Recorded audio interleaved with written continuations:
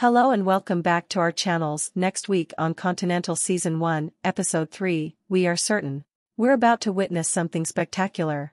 This is, after all, the finale. So, what will happen throughout the Charon disclosed Winston's plot to attack Continental and kill in the climax. Cormac, the situation will deteriorate.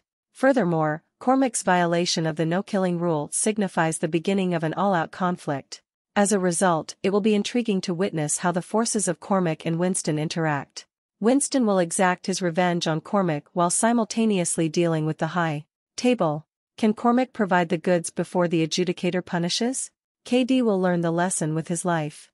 The title Theater of Pain alludes to the tangled network of emotions and vendettas that play out on film in this high-stakes theater.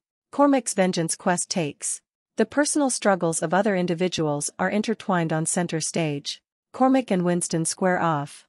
As the tension rises, he becomes a symbol of disobedience against the Continental's harsh norms, adding levels of depth to the plot.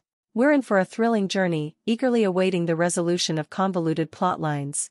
Please share, like, comment, and subscribe to our channels.